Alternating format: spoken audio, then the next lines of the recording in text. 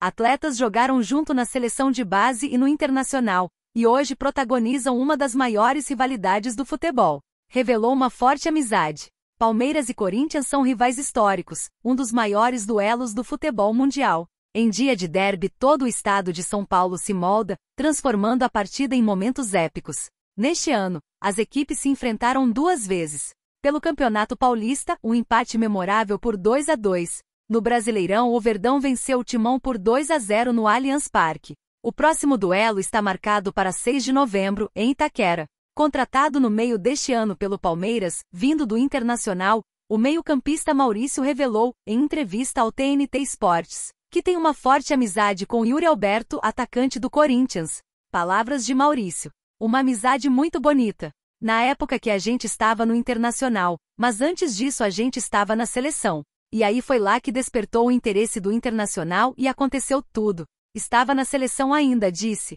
Ele foi um fator determinante para eu ter ido pro internacional porque você vai diretamente para caras que você conhece para saber como é a estrutura, como que é o ambiente. Porque antes de uma mudança você tem que todas as situações, complementou. Então ele desde o começo foi um cara que ajudou bastante quando eu cheguei no Inter. Foi meu companheiro de quarto, morava no mesmo condomínio, então a gente sempre era bem próximos, declarou Maurício. Sobre estarem em times rivais, Maurício disse: E hoje, querendo ou não, a gente joga em diferentes equipes que são rivais, mas dentro de campo cada um vai querer defender a camisa que carrega.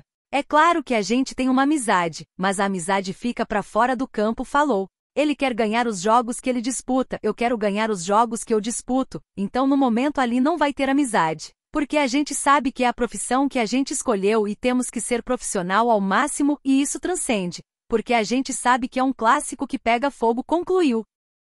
O jogador recebeu algumas propostas, principalmente após suas boas atuações na Copa América, onde representou a Colômbia. Vai ficar no Verdão. Richard Rios chamou a atenção por suas atuações na Copa América. Por isso, a imprensa apontou bastante a saída do jogador do Palmeiras para algum clube da Europa neste ano.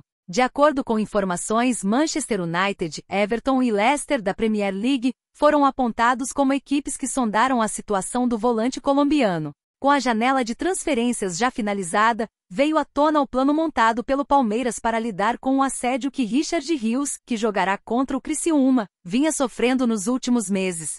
Desde as primeiras sondagens, o Palmeiras, que recebeu sondagem do PSG, passou a negar completamente qualquer transação, o clube definiu que só liberaria o jogador com o pagamento da multa. No contrato, segundo o portal Trivela, ficou definido o pagamento de 100 milhões de euros, 631 milhões de reais, para liberar Richard Rios, que retorna após a data FIFA para outros clubes. A diretoria continua com a mesma visão. Com o Mundial de Clubes, a comissão técnica vê a importância de manter os seus principais jogadores na equipe. Por isso, essa deve ser a posição do clube na próxima janela. Após a competição, ele pode ser negociado. Não é apenas o contrato que vem garantindo a permanência do jovem na equipe. O Palmeiras teve algumas conversas para alinhar todos os detalhes da permanência de Richard Rios. Segundo as informações, o staff e o jogador entenderam que ele pode ficar ainda mais valorizado se permanecer no clube alviverde. O volante também vê a importância da sua evolução.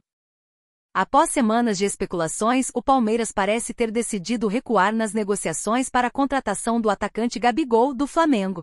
As conversas, que ganharam força em julho deste ano, esfriaram nas últimas semanas e agora, o Verdão estaria explorando outras alternativas para reforçar o elenco na próxima temporada. O jogador, por sua vez, segue focado em suas últimas partidas com o Flamengo em 2024, enquanto seu futuro permanece incerto.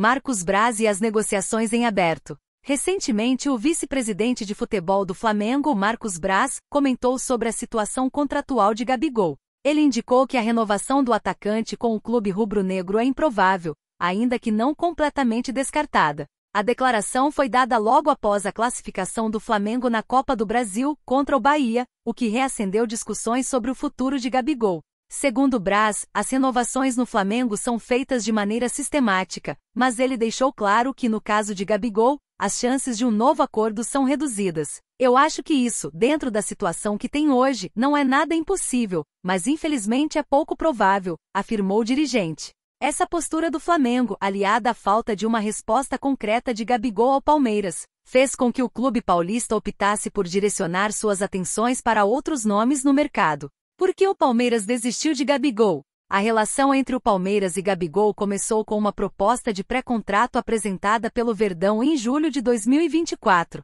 No entanto, desde então, o atacante não respondeu à oferta, seja de forma positiva ou negativa. Esse silêncio levou à paralisação natural das conversas. Gabigol tem contrato com o Flamengo até dezembro de 2024 e, legalmente, pode assinar um pré-contrato com qualquer equipe. A falta de um acordo definitivo para renovação com o Flamengo deixa o futuro do atacante em aberto, mas a incerteza gerada em torno dessa situação afastou o interesse do Palmeiras. Internamente, o Palmeiras decidiu buscar outras opções para a posição de centroavante, uma vez que as tratativas com Gabigol não evoluíram. O clube paulista já está de olho em outros nomes que possam reforçar o elenco para a temporada 2025, o que coloca Gabigol em segundo plano no momento. Alternativas para o Palmeiras no mercado de 2025. Com o recuo na negociação por Gabigol, o Palmeiras está mapeando o mercado de transferências em busca de um novo centroavante.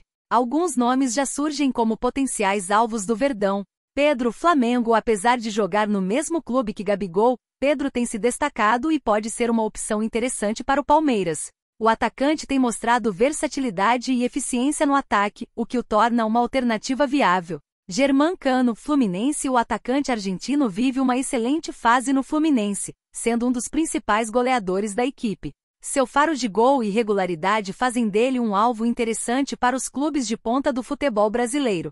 Hulk, Atlético Mineiro, o atacante com vasta experiência internacional e qualidade técnica, é uma opção que o Palmeiras pode explorar. Hulk já demonstrou ser decisivo em competições importantes e pode agregar bastante ao elenco alviverde.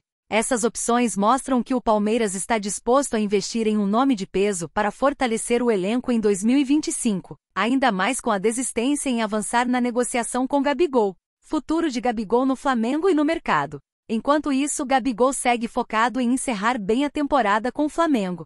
O atacante tem contrato até dezembro de 2024 e está envolvido nas competições restantes do clube. Apesar de a renovação ser considerada pouco provável, o jogador deve tomar uma decisão sobre seu futuro mais próximo do fim do ano. Além do mercado brasileiro, o atacante também atrai interesse de clubes internacionais. Caso não renove com o Flamengo, Gabigol poderá escolher entre propostas vindas de outras ligas ou até mesmo continuar no futebol brasileiro, mas em outro clube que tenha um projeto que o agrade. O mercado de transferências, sempre dinâmico, promete ser agitado nos próximos meses, e o destino de Gabigol ainda pode reservar surpresas. Até lá, o jogador deverá continuar focado em seus objetivos com o Flamengo, enquanto avalia o melhor caminho para sua carreira. Declarações e o impacto nos bastidores do Flamengo.